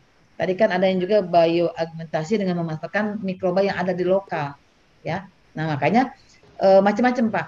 Ada juga mengembangkan bakteri yang untuk efektif ya dengan cara tadi kalau Bapak bilang apakah uh, beberapa kawan-kawan saya melakukan tadi uh, mengembangkan dengan tadi apa namanya mikroba-mikroba dari apakah cangkang, kulit dan sebagainya macamnya, kayu, apa namanya uh, dari dari hewan hewan itu bisa saja. Beberapa uh, penelitian juga ada melakukan bagaimana mengembangkan dari apa namanya uh, mikro uh, mikroorganisme yang di, di, dibuat gitu ya Pak ya. Jadi kalau bicara efektivitas tidak bisa secara spesifik ini bagus untuk ini. Ini tapi kita menggunakan bakteri, lihat dulu bakteri yang ada di, di, di lokal ya. Dan bisa juga bakteri diciptakan.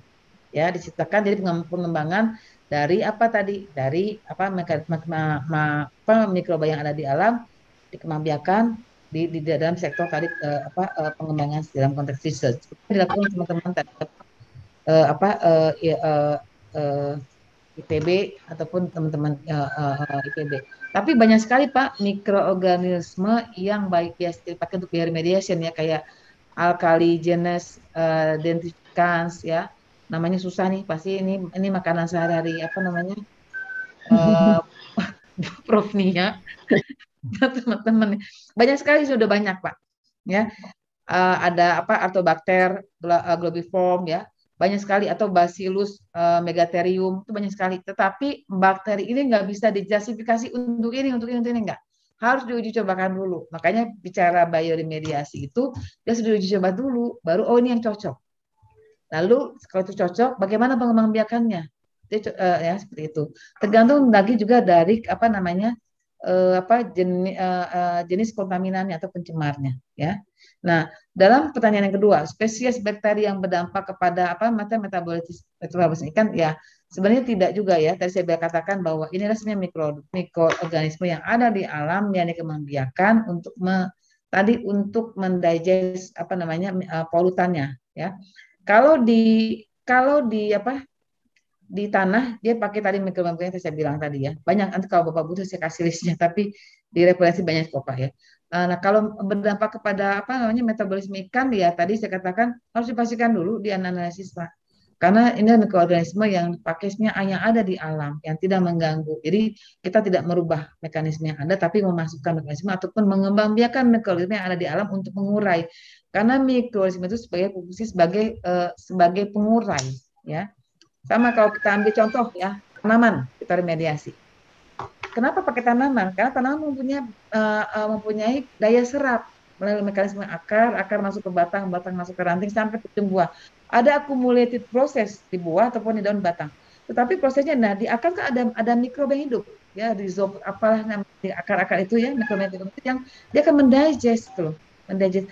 Hanya uh, yang tidak bisa diurai tadi logam-logam berat, ya DDT yang tidak bisa diurai, dia akan terakumulasi. Tapi yang lain bisa diurai dalam tadi apa mikroorganisme yang hidup di, di akar. Nah, oleh karena itu uh, kalau misalkan ada yang terdampak itu harus dilakukan kajian ya, kajian. Nah, mikroba mikroorganisme yang sudah dikembangkan di Indonesia itu banyak sekali ya.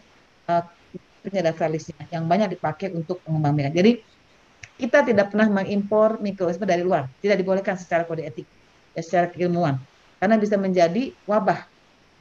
Ambil contoh aja virus COVID-19 itu kan masuknya orang dari satu orang mewabah kan nah itu dalam mewakili itu tidak dibolehkan ya kalau kode etiknya ya lalu eh, tentang apa tadi tambak ikan ya pak? Kalau bicara tambak ikan kan eh, lagi-lagi ya eh, itu yang menjadi konsensus sebenarnya dalam konteks pencemaran tanah apa air ya air ya jadi air. Itu yang saya sebenarnya berpikir eh, it, eh, harusnya bapak mungkin penelitian tentang itu pak. Bagus banget. Potensi pencemaran dari kegiatan tambak ikan. Karena tambak ikan itu adalah memberikan makanan secara rutin, secara rutin satu. Kedua, kadang-kadang dia memberikan juga uh, apa namanya enzim untuk pengembang ya, di, di ikan tuh. Ya, Papa beli paham lah. Nah, apakah ada proses akumulasi di air? Ya, dan di tinggal dilihat bagaimana perubahan ekosistem di, di, di, di tambak tersebut sangat bagus ya. Nah, tapi dalam konteks pencemaran ada ada kemudian potensi pencemaran tergantung dari tadi pakan yang dipakai apa, atau bahan-bahan kimia pakai apa itu yang harus dikaji lebih jauh ya Pak Saifuddin ya dalam konteks tadi. Nah eh, penggunaan, nah kan ada juga eh, penggunaan tadi kulit ya kulit kulit kulit kulit udang ya ataupun eh, kulit kulit apa dari eh, dari apa dari eh, kepiting itu kan dia mempunyai dia ada ma, apa chemical apa eh, kandungan-kandungan biokimikalnya yang bisa mengurai itu menguraikan air menjadi lebih baik ya. Saya pernah baca ada mahasiswa mahasiswa juga pernah melakukan penelitian dari kulit cangkang apa uh, uh, apa kepiting ataupun uh, apa namanya kerang atau apa namanya uh, kepiting ataupun uh, apa udang itu bisa dimanfaatkan. Hitin ya. Atau menetralisir air. Apa Bu? Apa Prof? Ahitin, ada hitin ya. ahitin, nah itu. Ya. Gitu ya Pak Syafuddin. Ini topiknya bagus untuk penelitian Bapak sesuai dengan keahlian Bapak untuk yang tambak ya. Terima kasih Prof. Iya. Uh, okay. Kebetulan saya penelitiannya terkait itu, Bu. Ya, keren. Ya. Saya nunggu Pak hasilnya. Kalau ada saya pengen belajar. Ya. ya siap Bu. Penuhun Bu. Ah, enggak sama. Assalamualaikum. Salam. Salam. Silahkan Saudara Rena. Waktunya tinggal 10 menit lagi. Oh iya Bu. 8 Terima, lah. Terima kasih 7 Bu menit atas, lagi. atas waktunya.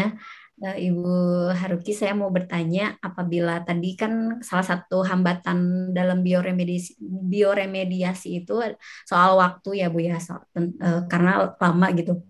Nah, seperti misalnya di uh, Belitung yang sudah habis tambangnya, terus uh, menjadi uh, tempat wisata atau ekowisata. Nah, apakah dari Kementerian Lingkungan Hidup itu memiliki SOP yang seperti misalnya kalau sudah dicoba selama enam bulan tidak menemukan mikroorganisme yang bagus untuk um, apa dalam pemulihan limbah itu kemudian dicoba lagi uh, untuk percobaan yang kedua. Ternyata percobaan kedua gagal lagi belum menemukan. Kemudian yang ketiga keempat kelima.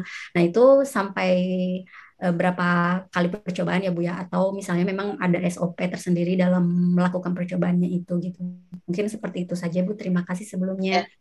terima kasih mbak Rena jadi kalau bicara tambang di bubble itu kan jadi kan kalau ditambang ya mbak uh, sebenarnya gini mekanisme itu dia pada saat dia menambang dia ada komitmen harus melakukan reklamasi ataupun melakukan proses reboisasi. Artinya ada konsep mengembalikan ke kondisi semula. Sebenarnya ada ada insurance insurance fee yang ditaruhkan di budgeting untuk melakukan itu. Cuman itu pertanyaan saya, kenapa itu tertinggal? Ke mana uangnya dan sebagainya macamnya? Sehingga meninggalkan kolong-kolong. Nah, kolong, kolong istilahnya kolong ya, kolong-kolong itu ya. Cantik tapi berbahaya ya. Nah, ada teknologi kalau ditambang batu bara namanya PAFNAF ya karena dia kan kenapa dia asam jadi tambang rata-rata memang di eh, tambang itu lebih suka tanah-tanah yang memang asam ya yang pH-nya eh, eh, relatif 4 nah karena dia terbuka kalau dia terbuka begitu tanpa ada air yang masuk aman sebenarnya. Nggak ada masalah secara alamiah dia memang kondisinya asam. Nggak ada masalah. Itu udah pemberian dari Allah. Nah Kenapa menjadi berbahaya? Karena tidak ditutup kembali, air masuk, air kontak dengan tadi apa asam, jadi air asam tambang. Itulah konsepnya sebenarnya. Ada air asam tambang. Nah, karena dia pH-nya sangat rendah, pernah mahasiswa saya melakukan apa ya penelitian dengan menggunakan tadi fitoremediasi dengan eceng gondok gitu ya, dengan tanaman-tanaman air ya, efisien. Tapi kan beberapa banyak. Lalu eh, eh, karena dia sifatnya fitoremediasi menyerap ya, menyerap logam-logam berat Nah, gondok yang jadi masalah karena ada ada kontaminan dalam eceng gondok. Nah, itu jadi masalah. Satu. Yang kedua adalah dalam konteks tadi uh, makanya ada uh, sekarang namanya PAFNAF, mengembalikan batu bara karena batu bara pH-nya cukup basah, kembalikan ke air, uh, ke tambang untuk tadi menetralisir air asam tambang. Itu salah satu teknologi ya, bagaimana menetralisir pH-nya ya di luar dari logam beratnya.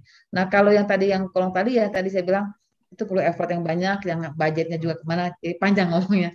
Nah dalam konteks tadi kalau pemulihan tidak selesai waktunya karena konsiderannya ada waktu, tadi kami dalam melakukan pemulihan ada timeline, ada batas waktu. Dia nggak bisa extend, extend, extend, extend terus dia nggak. Ada titik ultimatum di mana dia tidak akan meneruskan. Jadi harus memilih. Ya, contohnya gini, kalau misalkan uh, lahan kontaminasi minyak bumi pet total petroleum di atas 15 misalkan 20 atau berapa itu sangat tidak mungkin pakai beremediasi ya ini prof prof ini pada jago-jago lah. Prof Nia Pak Suryana pasti paham. Nggak mungkin mati itu mikrobanya. Ya maka sudah pasti dipilih dig and fill. Digali dibawa ke pihak ketiga untuk dimanfaatkan sebagai batako kalau tanahnya clay atau apa namanya dibawa ke industri semen tetapi eh, kalau yang tadi uh, di bawah 15 dia pakai mikroorganisme juga dilihat eh, efektivitasnya. Ada segitu banyak mikroorganisme yang di Indonesia yang dikembangkan untuk proses bioremediasi, betapa berapa efektivitasnya. Kalau dia nggak bisa ya ada timeline karena kami pas kan karena kalau didiamkan begitu saja akan terus tercemar. tercemar sampai ke air tanah. Maka kami punya timeline. Kalau memang enam bulan nggak bisa, kasih ekstensi lagi, ya, ekstensi lagi. Misalkan paling lama satu tahun. Setelah satu tahun nggak bisa, dig and fill, diangkat, kirim ke pihak ketiga. Karena pada prinsipnya saya menjamin lingkungan yang sehat dan bersih. Jadi kalau lama-lama ya tadi tanah dan air tanahnya akan tercemar. Gitu ya, Rena. Jadi ada batas, ada timeline, ya. Ya baik Bu, terima kasih. Ya, terima kasih. Ini dari mahasiswa MBKM izin bertanya tentang itu Bu di Muara Angke karena Oh, paracetamol ya. Ya, paracetamol. Nah, ini mahasiswa MBKM dari Universitas Jakarta kebetulan MBKM di Unpad gitu. Oke. Saya jawab ya Bu ya. Jadi kebetulan kemarin Ya, saya ditangani juga yang masalah paracetamol. Jadi ini kan eh, ada yang kalau eh, air itu untuk melihat kualitas itu ada baku mutunya, baku mutu air ya, tergantung dari kelas airnya. Nah, laut juga begitu, ada baku mutu air lautnya. Ya, nah dalam konteks tadi itu kan menentukan baku mutu ada scientific base-nya, menentukan eh, apa namanya eh, parameter-parameter itu ada scientific base-nya. Nah, ada namanya emerging pollutant. Jadi polutan yang penting tapi belum dilakukan analisis kajian. Nah, paracetamol ada kasusnya itu memang eh, apa namanya ada case-nya. Jadi ada seorang peneliti BRIN yang melakukan eh, sekolah S3 di UK. Eh, dia itu adalah paracetamol, ditemukannya paracetamol. paracetamol. Tapi kalau kita baca di referensi, paracetamol ditemukan di beberapa negara, ya, beberapa negara. Nah, kenapa menjadi panik? Karena tadi ada ada media sosial yang membuat ini menjadi heboh. Oh, Jakarta tercemar paracetamol. Ditambah lagi bahwa paracetamol itu digunakan pada saat pandemik ini. Ya, kalau kita divaksin kan kita kasih paracetamol kan. Paracetamol itu kan sebenarnya obat panas, obat anti sakit ya. Obat-obat supaya kita sakit, ngilangin karena nyeri ataupun panas ya. Dan nah, dari hasil temuannya si peneliti tersebut dari empat lokus ada dua di Muara Angke sama kalau salah apa ya Ancol apa gitu ya yang itu eh, apa namanya eh, terlihat memang eh, relatif tinggi. Nah, satu permasalahan tidak ada baku mutunya kita. WHO pun tidak mengatur. WHO tidak mengatur untuk paracetamol, belum, ya, belum mengatur. Saya lihat eh, eh, apa namanya untuk Kemenkes belum telah di- eh, apa namanya ada aturan bagaimana tolerable daily intake berapa berapa dengan belum ada seperti itu. Tetapi ada beberapa negara yang melakukan analisis tentang paracetamol di air. Ternyata memang ada ya di Amerika Latin sana ada satu ya dan memang tapi kan memang belum ada ya jadi ini menjadi emerging polutan. Polutan yang menjadi mungkin menjadi concern untuk dilihat kembali gitu loh. Dan kalau dikatakan apakah tercemar? Ya belum bisa dalam konteks pencemaran itu kan kita harus lihat berapa konsentrasinya apakah yang terdampak. Memang kajian mereka ada katanya eh, apa berpoten eh, apa muscle ya kerang itu apa namanya uh, mutagenik. Wah, saya bilang itu butuh waktu yang sangat banyak. Saya belajar dioksin furan terhadap apa potensi apa uh, mutagenik itu butuh waktu yang sangat lama untuk proses akumulasi, bioakumulasi. Ya, di Jepang ada ada ada referensi dioksin furan berdampak terhadap uh, mutagenik dari tadinya perempuan jadi apa betina jadi jantan. Tapi prosesnya lama. Ini sementara baru diketahui ya. Jadi kita ketahui adalah emerging pollutant. Memang ada di situ dan kita lihat uh, satu indikasinya bagaimana untuk memastikan melihat pola pola pola sekitar. Ternyata di Muara Angke itu sistem apa namanya perumahannya uh, perumahan orang yang mungkin skala menengah ke bawah yang sistem sanitasinya nggak bagus. Karena ternyata dalam konteks absorpsi ataupun penguraian uh, di dalam tubuh um, paracetamol itu 95% terserap. 5%-nya keluar 5%-nya keluar tadi ke lingkungan melalui apa tadi air seni dan sebagainya macamnya. Nah dengan pola sanitasi yang kurang baik ya, dengan pola konsumsi orang minum obat itu kan obat obat jual bebas ya. Jadi itu bisa menentukan, memastikan bahwa eh, apa namanya proses migrasi dari mana, apakah dari rumah tangga, rumah tangga, tapi terus dilakukan penelitian lebih lanjut lagi. Kedua, baru saja eh, DLH Provinsi Jakarta menemukan ada perusahaan yang membuang limbah paracetamol ya direct tanpa diolah. Nah inilah saya bilang itu mungkin saja, tetapi dalam konteks tadi satu lokasi tinggi ya tadi karena tadi apakah dari proses sanitasi yang terbuang atau uh, sektor farmasi yang membuang secara langsung tanpa diolah. Nah bicara pencemaran kan bisa bisa langsung tadi akumulasinya berapa lokasi kalau hanya dua, dua lokus ya apakah bisa katakan pencemar tidak terus uh, parameter indikatornya apa? Harus ada before and afternya untuk menentukan pencemar nah paracetamol ini memang menjadi concern ya menjadi concern bahwa tadi untuk melihat apa pola pola konsumsi pola pengolahan limbahnya ini sangat penting. Nah kasus itu penelitian itu dilakukan sebelum sebelum pandemik 2019 bawah. Jadi nggak bisa dikatakan bahwa pencemaran itu karena pandemik nggak bisa. Nggak ada korelasi positifnya gitu ya karena penelitian tahun 2019 jadi kemungkinan dari proses orang mengkonsumsi sanitasi kurang baik atau industri yang membuang air limbahnya langsung ke tanpa ada pengolahan. Begitu Prof. Ya terima kasih. Eh, Saudara Agung sebenarnya ini waktunya sudah habis ya. Barangkali eh, nanti kita diskusi di kelas saja, tapi eh, yang ingin ditanyakan oleh Saudara Agung adalah kalau misalnya fitoremediasi ini sudah dilakukan untuk menyerap logam berat, nah treatment selanjutnya seperti apa agar tidak kembali mencemari lingkungan? Nah, uh, ini pertanyaan bagus ya. Jadi pito sampai kapan sebenarnya? Jadi ya sebenarnya tergantung dari tanamannya ya kan ada kalau itu ada vet, uh, turbut vetiver ya ada tanaman keras mungkin juga kalau di air eceng gondok bisa dipakai untuk fitoremediasi di, di water base ya. Nah, fitoremediasi ini kalau di, di migas ya digunakan pasca bioremediasi yang tidak tercapai karena susah nih. Udah waktu enam bulan, extend tiga bulan masih mainnya di 0,5 ya di atas 0,01 di atas 0,1 di, di apa di bawah 0,5 susah gitu kan hanya di tandem dengan fitoremediasi.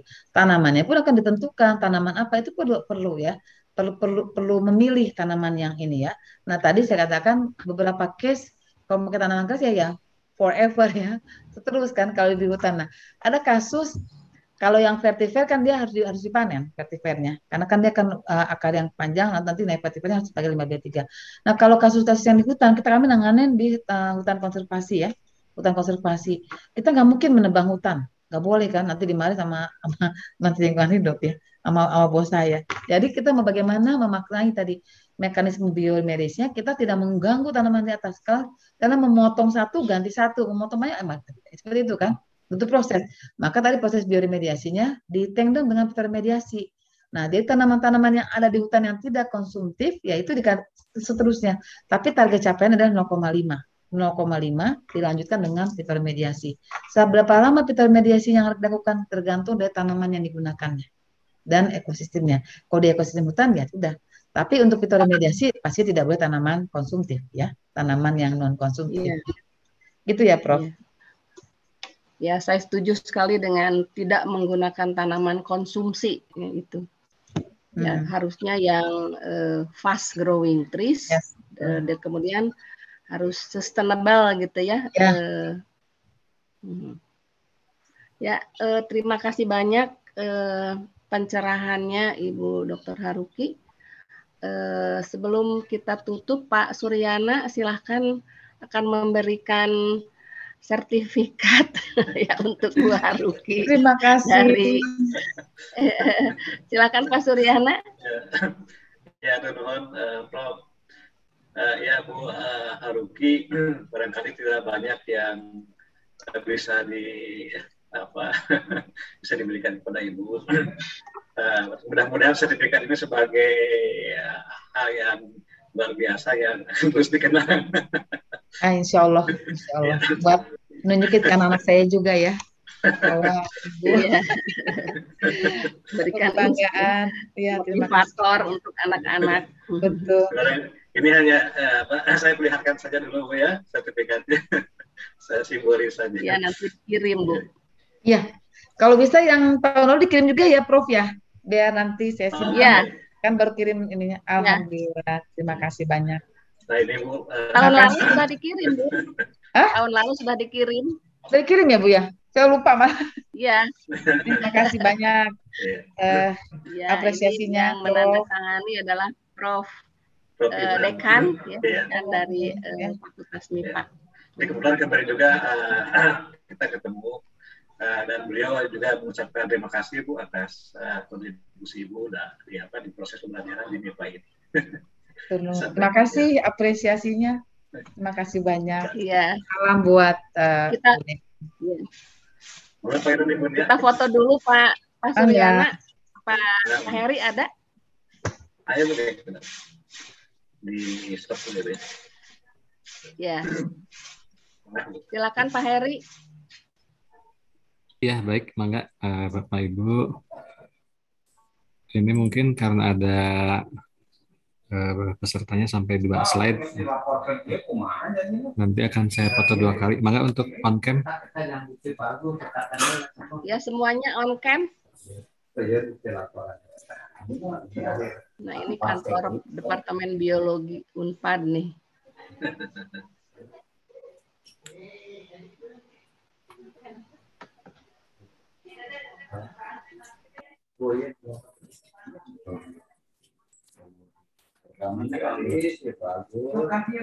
Mangga eh, yang pertama untuk slide pertama dulu. Sebentar.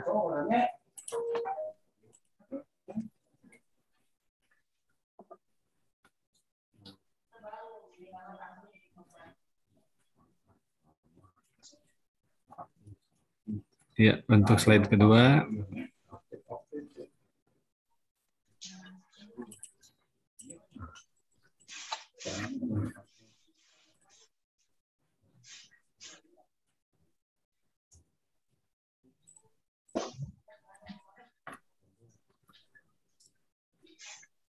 Ya, mangga sudah selesai Bapak Ibu. Sudah selesai? Ya. Terima kasih Bu Haruki. Eh, Kami Prof. sampai ketemu. Ya, sampai ketemu. Insya eh, Allah sehat-sehat harusnya terus, luring nih, harusnya offline. Ya. Sehat-sehat terus. Dan- Prof Nia. Ya, ya mudah-mudahan nanti kalau ada penelitian-penelitian akan menghubungi Ibu. Mangga, mangga. Dengan senang hati saya. Boleh. Ya, boleh, boleh. Ya, terima kasih. Eh, mohon maaf atas ya sami-sami hatur Pak nuhun. Suryana makasih, Punun, Bapak Ibu. Izin pamit. Suryana Assalamualaikum.